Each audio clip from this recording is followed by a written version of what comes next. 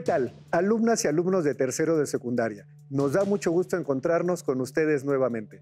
Somos Joshian García y Alberto Ábrego y les damos la más cordial bienvenida a una sesión más de lengua materna de la estrategia Aprende en casa. Antes de iniciar, permítanme recordarles, la salud es lo primero, por lo que la recomendación es que sigamos cuidándonos, atendiendo las indicaciones de higiene y mantener la sana distancia. No bajemos la guardia.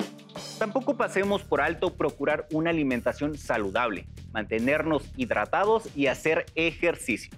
Si te cuidas tú, nos cuidas a todos.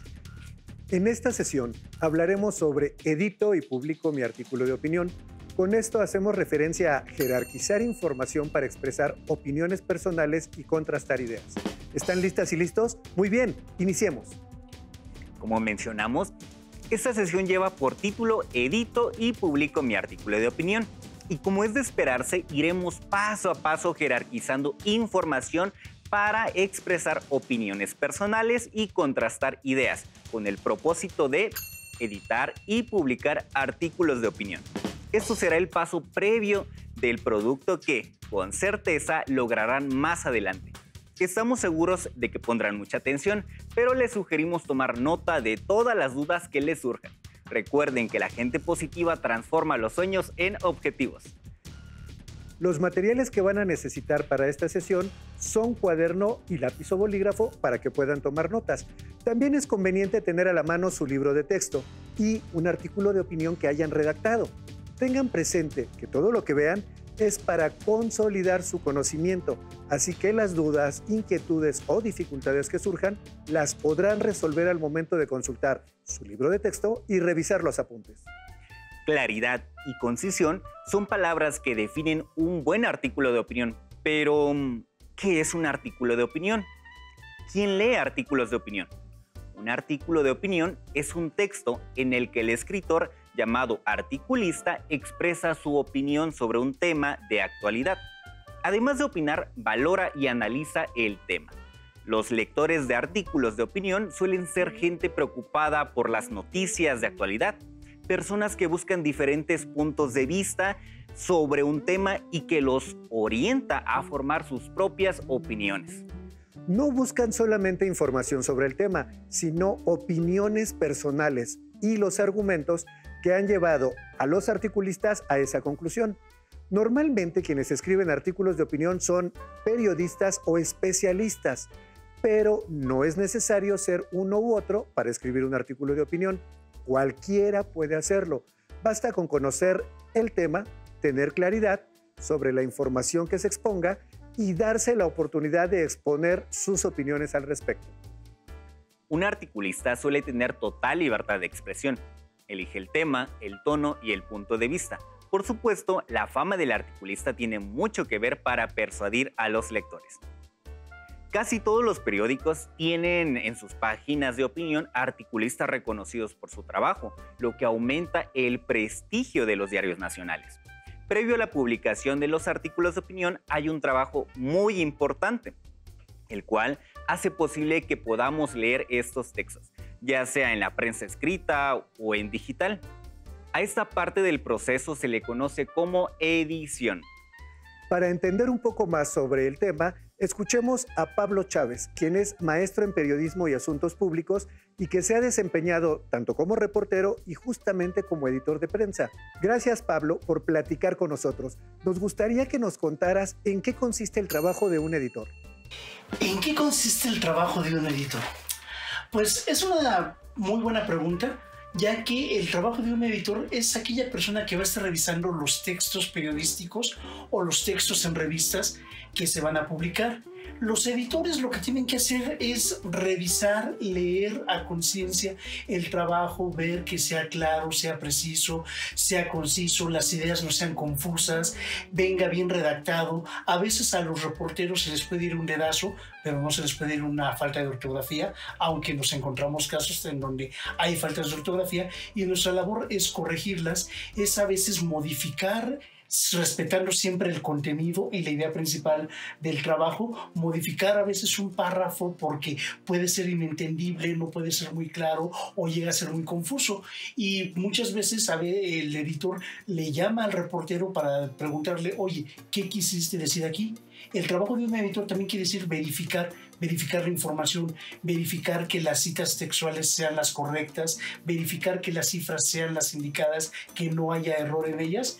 Y otro de los trabajos que hace es hacer los encabezados que en el argot periodístico se llaman cabezas. Las cabezas que vienen en los textos este, es la parte principal del texto. ¿Por qué? Porque al final de cuentas es el gancho. Si una cabeza es muy buena, va a motivar a que el lector se ponga, se detenga a leer el texto completo. Si la cabeza es muy vaga, es muy simple, va a provocar que el lector simplemente no le haga caso.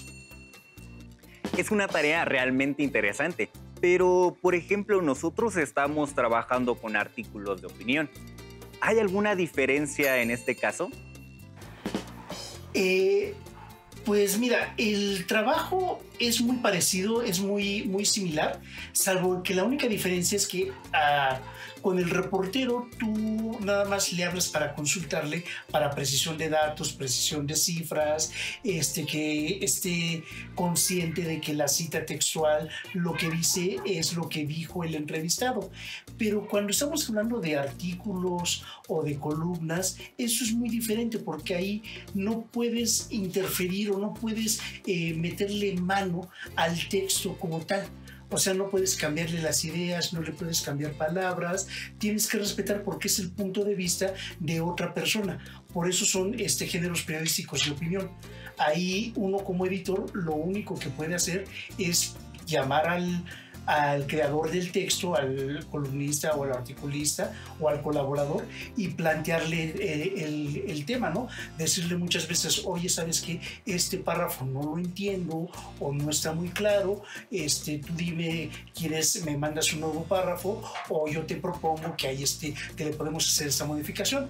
Dependiendo de la persona, te puedes ir adelante, me gusta tu idea, mételo así, o él te dice, ¿sabes qué? Dame 5 o 10 minutos y ahorita te mando una columna o un artículo ok, ¿no? Ya con estos cambios. Y para eso se aprovecha también porque luego en los medios impresos tienen un espacio determinado para la publicación de estas colaboraciones.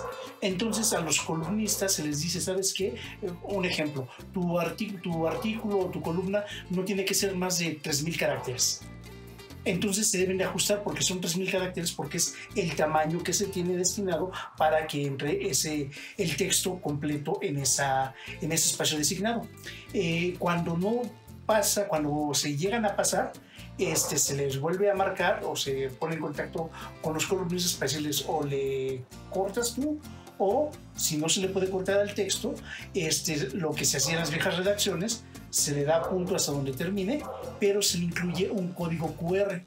¿Para qué? Para que en el código QR, cuando la persona quiera enterarse de toda la información, este, escanea ese código y lo va a trasladar a la página de portal de la empresa, bueno, de, del medio en turno, y ahí va a poder leer completo el texto. Lo que también se hace es, por ejemplo, en las cabezas en los encabezados. A veces los eh, colaboradores mandan cabezas muy grandes que no se apegan al tamaño que se tiene designado, ¿no? Porque ustedes saben que los medios tienen un espacio designado para publicar la información. Entonces, lo mismo, se les pide que si por favor ellos pueden editar su cabeza o en su defecto ya uno tiene una propuesta de cabeza alterna, claro, siempre tratando de respetar al máximo la idea del columnista. Eso es la gran diferencia que hace el editor cuando revisa una columna o un artículo que cuando revisa el trabajo de un reportero. Como pudimos darnos cuenta, la labor del editor en un texto argumentativo tiene particularidades, ya que la edición se hace de común acuerdo con el autor. Escuchemos ahora al alumno Rubén que plantea la siguiente duda.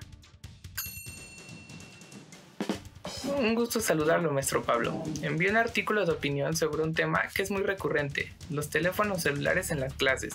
Me gustaría escuchar sus comentarios. Gracias, Rubén. Realmente el tema cumple con actualidad y estoy seguro de que generará polémica por las diversas posturas, Pero ¿qué les parece si escuchamos al maestro Pablo para saber qué es lo que tiene que decirnos sobre el trabajo de Rubén?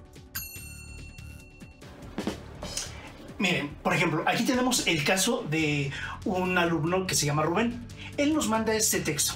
Eh, de, entrada, cuando vemos el encabezado, pues es una cabeza muy larga.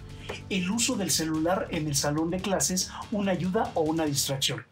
Para un medio impreso, esto es una cabeza enorme.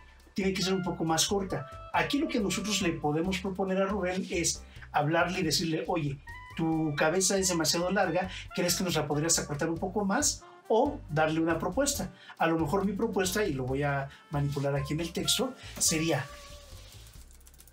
no sé, celular en el salón de clases, una ayuda o, distracción, o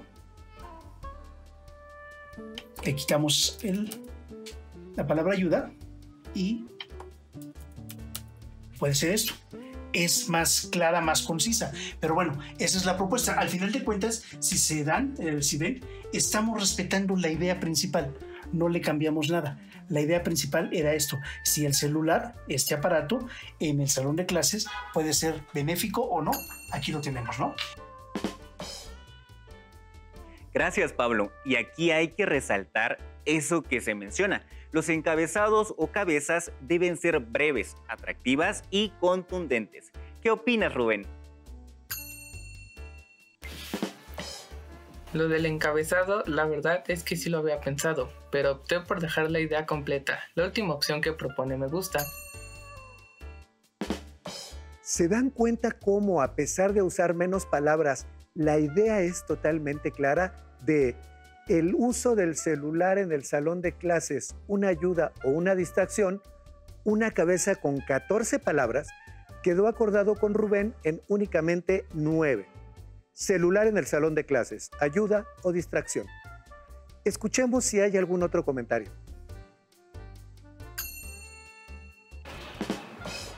Ahora pasemos al texto.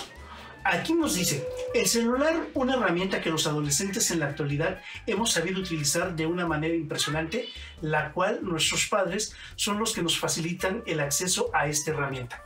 Bueno, lo primero que podemos encontrar aquí es la repetición de palabras herramienta y herramienta, que eso es lo de menos, pero si se dan cuenta, le falta un conector o le falta una idea, porque brinca de una idea a otra. Entonces, aquí la propuesta nuevamente es que se le invita a Rubén a decir si nos puede modificar ese texto, porque a lo mejor tenía una idea clara, o a lo mejor se le puede hacer una propuesta. La propuesta podría ser el celular, una herramienta que los adolescentes en la actualidad hemos sabido utilizar de manera impresionante. Y aquí puede ser este mismo o en los tiempos que nuestros padres o que nos permitieron o que nos han dado la facilidad de tener estos aparatos como una auxiliar para nuestros trabajos. No sé, aquí principalmente yo creo que sí es importante hablar con el, el autor del texto para que él aclare bien su idea, porque yo lo estoy entendiendo de esa manera, pero a lo mejor él tenía otro concepto o quería dar otra explicación. Aquí en el trabajo de edición, cuando son este tipo de, de notas, bueno, de, de de artículos o de editoriales, sí se consulta directamente con la persona. En el caso de cuando es un trabajo reporteril, pues ya el editor ya se encarga de este, meter mano, porque al final de cuentas el editor es conocedor de todos los temas que se están llevando a cabo. De acuerdo con lo que escuchamos, el uso de sinónimos es fundamental para evitar la repetición de palabras, así como el de nexos para darle un sentido más claro a la exposición de las ideas. Pero bien mencionó Pablo, al ser un artículo de opinión, él como editor sugiere, y es Rubén quien debe tomar una decisión. ¿Estás por aquí, Rubén? Ya veo. Gracias por la sugerencia. Lo trabajo nuevamente y se los hago llegar. Muy bien, pues demos tiempo a que Rubén trabaje con base en las sugerencias, en la relectura y revisión de todo su texto. Mientras tanto, hablemos de la publicación. Ya nos comentaba Pablo que hay posibilidades a través de diversos medios en el caso de los impresos o digitales. Actualmente estos últimos han sumado mayor número de lectores, por lo que optar por los medios electrónicos para difundir en nuestra comunidad escolar sería una buena decisión. Escuchábamos también la conveniencia del espacio de los medios electrónicos, por lo que podemos ponernos de acuerdo con nuestras maestras y maestros para que a través de las plataformas donde se comunican con nosotros tengamos la posibilidad de compartir nuestros artículos de opinión. Platicando con ellos nos pueden especificar cómo subirlo o enviarlo para que sean ellos quienes nos apoyen en la gestión y administración del espacio en la plataforma. Regularmente les pedirían que sean en formato PDF, lo que garantiza que el formato se mantenga tal cual fue escrito por el autor. En los procesadores de texto muchas veces por la configuración de los equipos pueden aparecer distorsionados. Otro detalle importante es que, obviamente, el artículo de opinión debe ir firmado por el autor, pues él o ella es responsable de esa opinión que está expresando. Regresando al tema de la tecnología, veamos lo que nos presentó Rubén. Observaremos el texto original y las modificaciones que realizó. El primer párrafo, como ya escuchamos en voz de Pablo, dice, el celular una herramienta que los adolescentes en la actualidad hemos sabido utilizar de una manera impresionante, la cual nuestros padres son los que nos facilitan el acceso a esta herramienta. Con los cambios quedó así. El celular, una herramienta que los adolescentes en la actualidad hemos sabido utilizar de una manera impresionante, gracias a la ayuda de nuestros padres, quienes son los que nos lo facilitan.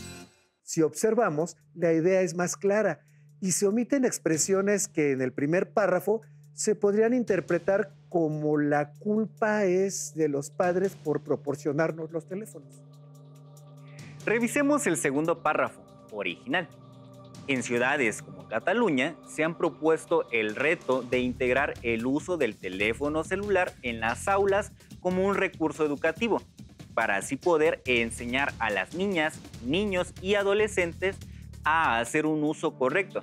En mi opinión, esto sería un reto bastante difícil porque los niños, niñas y adolescentes solo lo utilizamos para las redes sociales y videojuegos, por lo que sería difícil, incluso imposible, lograr un uso correcto en los salones de clase. Aquí se optó por el punto y seguido, para separar ideas y se modificó el orden sintáctico de por qué los niños, niñas y adolescentes solo lo utilizamos, quedando porque solo lo utilizamos sin repetir el sujeto que ya se había mencionado anteriormente en el mismo párrafo. En ciudades como Cataluña se han propuesto el reto de integrar el uso del teléfono celular en las aulas como un recurso educativo, para así poder enseñar a las niñas, niños y adolescentes a hacer un uso correcto. En mi opinión, esto sería un reto bastante difícil porque solo lo utilizamos para revisar las redes sociales y jugar con los videojuegos, por lo que sería difícil, incluso imposible, lograr un uso correcto en los salones de clases. En el tercer párrafo, una ley para el siglo XXI. Así calificó la legislación el ministro de Educación francés Jean-Michel Blanquer. Dicha legislación prohíbe la presencia de celulares en las escuelas, legislación con la cual estoy de acuerdo, ya que así los alumnos pondríamos más atención a las clases teniendo un mayor aprendizaje. Rubén optó, siguiendo los consejos del editor, por dividirlo en dos, además de organizarlo sintácticamente en el orden sujeto, verbo y predicado. El párrafo 1. Mientras que para el ministro de Educación francés, Jean-Michel Blanquer, el uso de los móviles tendría que ser una ley para el siglo XXI, con esta propuesta se prohíbe la presencia de celulares en las escuelas. Y el párrafo 2 donde además expresa su acuerdo. Con esta legislación estoy de acuerdo, ya que así los alumnos pondríamos más atención a las clases teniendo un mayor aprendizaje. Avancemos. Las ventajas que tiene el uso del celular en el salón, según la Universidad Dínamo, son aprender a hacer un buen uso de la tecnología, acceso a Internet en todo momento, uso de herramientas educativas tecnológicas, aumento de la motivación y participación permite realizar el seguimiento del método de enseñanza-aprendizaje. En esta sección vemos que además agregó nuevamente un acuerdo y originalmente no lo mencionaba. Si bien se sobreentiende, pues lo menciona como ventajas, vale la pena expresarlo. Las ventajas que tiene el uso del celular en el salón, según la Universidad Dinamo en Aguascalientes, México, son aprender a hacer un buen uso de la tecnología, acceso a Internet en todo momento, uso de herramientas educativas tecnológicas, aumento de la motivación y participación, permite realizar el seguimiento del método de enseñanza-aprendizaje. Ventajas con las cuales concuerdo, pues podrían ser útiles para motivar a los estudiantes a ser más constantes en sus estudios. En el párrafo que sigue, vemos que originalmente estaba aquí el acuerdo de la idea anterior. Ventajas con las cuales concuerdo, pues podrían ser útiles para motivar a los estudiantes a ser más constantes en sus estudios. Pero por mi parte, no cambiaría lo que es un maestro por una aplicación que me enseñe. No cambiaré un cuaderno y una pluma por alguna aplicación para realizar los trabajos. No cambiaría una buena charla de compañeros en el descanso por un chat. Ahora revisemos y si el acuerdo ya se había expresado en el párrafo que leyó Yoshian, este quedó así. Por mi parte, no cambiaría lo que es un maestro por una aplicación que me enseñe, ni un cuaderno y una pluma por alguna aplicación para realizar los trabajos, ni una buena charla de compañeros en el descanso por un chat. El que sigue es un párrafo muy largo. Por otro lado, la prohibición de los celulares en el salón de clases, a mi criterio, ayudaría a evitar el pubbing, que es la acción de solo prestarle atención al teléfono en lugar de a las personas con las que estamos acompañados. Y en mi experiencia personal, esto es cierto, ya que ves alrededor y todos tus amigos están en sus celulares como si fuera lo único en el mundo, lo cual me provoca cierta incomodidad, ya que la tecnología en lugar de ser nuestra aliada parece estar dominándonos de una manera impresionante que hace parecer que dependamos de ella. Si no, no somos nadie. Que quedó dividido en dos. El primero, por otro lado, la prohibición de los celulares en el salón de clases, a mi criterio, ayudaría a evitar el pubbing, es decir, la acción de solo prestarle atención al teléfono en lugar de las personas con las que estamos acompañados. Y el segundo, en mi experiencia, esto es cierto, ya que ves alrededor y todos tus amigos están en sus celulares como si fuera el único en el mundo lo cual me provoca cierta incomodidad, ya que la tecnología, en lugar de ser nuestra aliada, parece estar dominándonos de una manera impresionante, que hace parecer que dependamos de ella. Si no, no somos nadie. A continuación, observemos que Rubén usa una cita. Qué ironía de la tecnología. Mientras nos acerca a las personas más lejanas, nos aleja de las más cercanas. Esta frase de un famoso personaje infantil femenino de las historietas es una de las frases que más me hace reflexionar acerca de cómo estamos usando en la época actual la tecnología, ya que mientras podemos conocer a mucha gente por medio de la tecnología, esta misma nos está alejando de las personas más cercanas, como nuestra familia y nuestros amigos. Quiero aclarar que en la cita se omitió el nombre del personaje, pero se hace referencia a la caricatura de la cual se tomó dicha frase. Por otro lado, se omitió una redundancia y quedó así. Qué ironía de la tecnología, mientras nos acerca a las personas más alejadas, nos aleja de las más cercanas. Esta frase de un famoso personaje infantil femenino de las historietas es una de las frases que más me hace reflexionar acerca de cómo estamos usando en la época actual la tecnología ya que mientras podemos conocer a mucha gente, esta misma nos está alejando de las personas más cercanas como nuestra familia y amigos. Finalmente, el cierre del artículo. El celular, un arma de doble filo con la que convivimos hoy en día, que si bien nos puede ayudar en todas nuestras tareas escolares y puede ser una gran herramienta para la educación, a la misma vez nos puede crear una realidad falsa en la que empezaremos a vivir. Y si no cuidamos nuestro uso de esta herramienta, las consecuencias podrán ser irreparables, teniendo que depender de ella en un futuro no muy lejano. Aquí las modificaciones que hizo Rubén tienen más que ver con el uso de puntuación. El celular, un arma de doble filo con la que convivimos hoy en día, que si bien nos puede ayudar en nuestras tareas escolares y ser una gran herramienta para la educación, al mismo tiempo nos puede crear una realidad falsa en la que empezaremos a vivir y si no modificamos el uso de esta herramienta, las consecuencias serán irreparables al depender de ella en un futuro, no muy lejano. Veamos el texto en la forma en que podría aparecer publicado. Dentro de las observaciones generales que el editor hizo al articulista están las siguientes. El uso de un lenguaje más sencillo facilita mucho la redacción. Recuerden armar sus oraciones de acuerdo con sujeto, verbo y predicado. Revisar los signos ortográficos y acentos. Muy bien, a lo largo de la sesión vimos que el trabajo de edición debe ser muy cuidadoso para sugerir mejoras, pero sin influir en lo realmente importante, la opinión del articulista.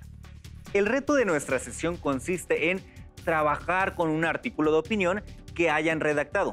Soliciten a un compañero o compañera que funja como editor y ustedes hagan lo mismo con uno de ella o él. Recuerden que deben sugerir modificaciones de mejora. Recuerden que el trabajo de edición se realiza entre ambas partes con la finalidad de publicar un texto claro, conciso y coherente. Cuando reciban el suyo, valoren las modificaciones y mejoras que les sugieren y realicen lo procedente para que esté listo para su publicación. Finalmente, difúndanlo para que toda la comunidad escolar conozca su opinión. Listo. En esta sesión trabajamos para editar y publicar artículos de opinión y con ello aprendimos a jerarquizar información para expresar opiniones personales y contrastar ideas. Les sugiero que, para reafirmar lo que vimos en esta sesión, localicen en sus libros de texto el aprendizaje esperado, jerarquizar información para expresar opiniones personales y contrastar ideas. Lo anterior para que cuenten con más elementos y podamos editar y publicar artículos de opinión. Gracias por compartir con nosotros esta sesión de lengua materna, en la que hemos escuchado sobre edito y publico mi artículo de opinión. También hacemos extensivo nuestro reconocimiento al maestro Pablo Chávez, a Rubén y a todo el equipo que hace posible que lleguemos a las casas de nuestros estudiantes. Hemos aprendido algo nuevo juntos. Somos Alberto Ábrego y Josian García. Confiamos en encontrarnos nuevamente muy pronto aquí en Aprende en Casa. Hasta, la, próxima. Si tienes dudas o necesitas ayuda, llama al Centro de Apoyo Pedagógico a Distancia el número de teléfono para secundaria es el 55 36 01 71 23. Si requieres consultar los libros de texto en versión digital, recuerda que los puedes encontrar en la página conalitech.cep.gov.mx. Y recuerda que también cuentas con el sitio aprendeencasa.cep.gov.mx en donde podrás ver nuevamente los videos de los programas y además encontrarás actividades para fortalecer tus aprendizajes. También te invitamos a que consultes las plataformas nuevaescuelamexicana.cep.gov.mx y tripulantes.cep.gov.mx.